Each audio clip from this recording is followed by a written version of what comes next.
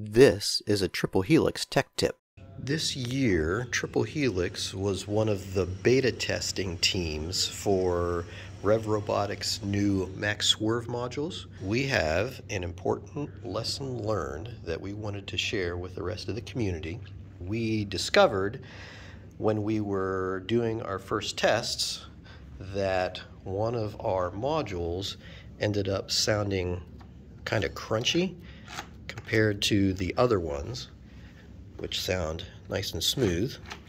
And we traced the problem down to some gear teeth that were damaged in this swerve module. The reason those gear teeth were damaged was that we had some metal shavings that got into these gear teeth. You can see that these gear teeth are greased.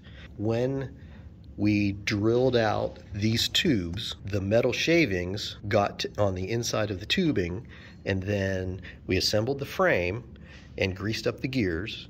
And then, if this drivetrain gets tilted, all of those metal shavings slide down the tube directly into the gears in the gearboxes. And some of these gear modules you can see little shavings that are still in there um, because it's not all cleared out yet.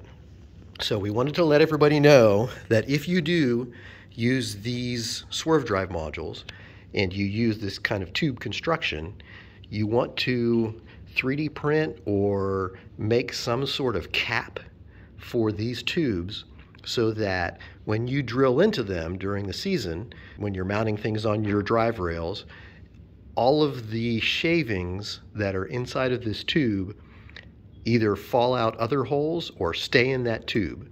You do not want those shavings coming out of your tubes and going into your gears.